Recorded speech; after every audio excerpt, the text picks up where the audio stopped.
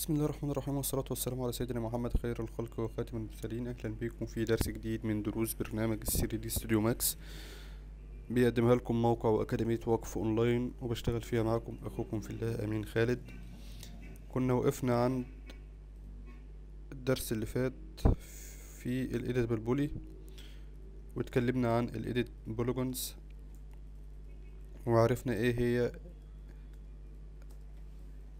ال options اللي بيقدمها لنا ال edit polygons النهارده هنكمل كلام عن ال editable poly بس هنتكلم عن آخر حاجة فيه اللي هي ال element بدأنا الأول بال edit vertices عرفنا المستويات المختلفة والاختصارات بتاعتها. واحد اتنين تلاتة أربعة خمسة. اتكلمنا عن ال edit vertices وعرفنا الريموف والاكسترود والبريك والولد اتكلمنا عن كل ال options بتاعتها. اتكلمنا عن ال edit edges برضو. وعرفنا الريموف والسبليت والكريت شيب وعرفنا الكلام ده كله. واتكلمنا عن ال border إن هي حالة خاصة من ال edges وعرفنا ال options بتاعتها. واتكلمنا عن ال polygons آخر حاجة عندنا عرفنا ال edit polygons برضو ال bevel وال extrude آخر حاجة عندنا ال elements هي ال elements مفيهاش أي حاجة جديدة ما عدا ما فيهاش أي حاجة جديدة. هي نفس ال edges نفس ال polygons بالظبط. ممكن تمسك ال element بحاله الجسم بحاله وتقول له flip ممكن تده تعمل vertices جديدة ممكن تعمل تغير في ال triangulation بتاعه ال polygons بتاعتك. بس هم مزودين ال element ليه؟ هم ليه حاطين حاجة اسمها ليه لأن ممكن عندك ال editable poly يبقى عبارة عن كذا element مع بعض. لو عملنا واحد تاني كده مثلا واحد تاني كده مسكنا الايديتابل بولي هنا. وقلنا له attach. وزودنا ده وزودنا ده. هنا هتلاقي ده كله كده مع بعضه بقى editable بولي واحد. ال editable بولي ده مكون من تلاتة elements. ده element وده element وده element. التلاتة مي في حت في التلاتة في editable poly واحد. يعني هما التلاتة جسم واحد.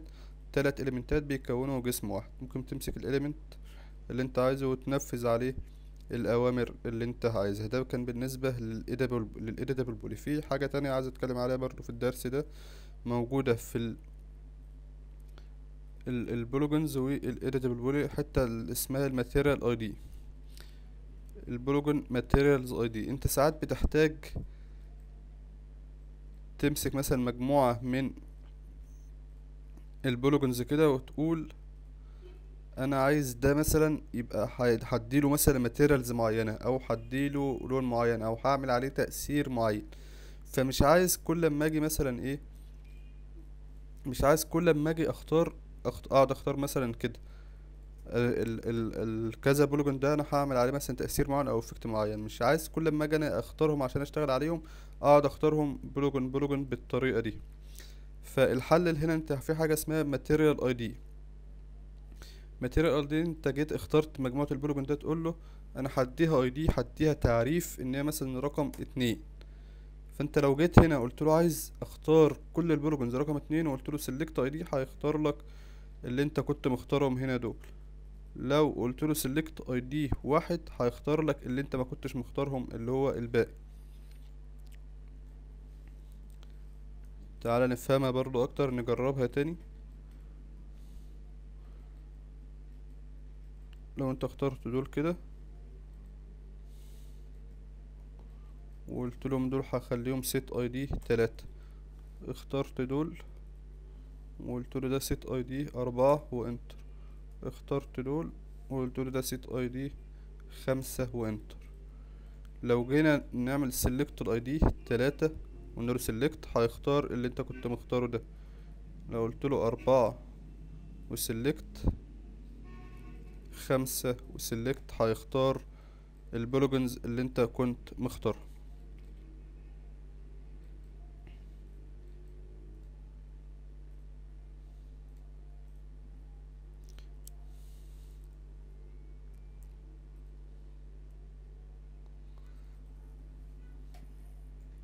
تعالى نبعد عن الأرقام اللي في الأول اللي هي واحد واتنين وستة لأن هو عامل مقسم ال elements اللي عندنا ال materials ID كل face منهم واخد ID معين فاحنا لما اخترنا إحنا ال ID هات اللي إحنا غيرناها دي تدا... عم- عمل تداخل مع ال ID ات اللي هو كان مختارها. فمثلا إيه هو مد الأسطح ديت ال ID تلاتة إحنا زودنا عليها المستويات اللي إحنا عملناها دي.